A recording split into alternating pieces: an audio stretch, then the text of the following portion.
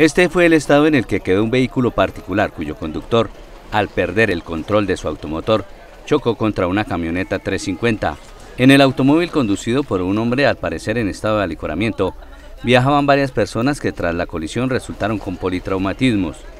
Una mujer fue la más afectada siendo trasladada al hospital Emiro Quintero Cañizares. Entre tanto, quien conducía el carro, también con evidencia de golpes en su cuerpo, abandonó el lugar. El choque se presentó en el sitio conocido como San Luis, donde según la información recopilada por este medio de comunicación, el carro particular invadió el carril por donde se trasladaba el carro pesado.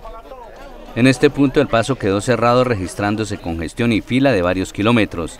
Según algunas personas que llegaron al sitio, aseguraban que quien manejaba el carro tipo sedán tenía rastro de haber ingerido licor. Hacia las 9 de la noche cuando el camión fue retirado y el otro carro recogido por una grúa, el paso fue restablecido.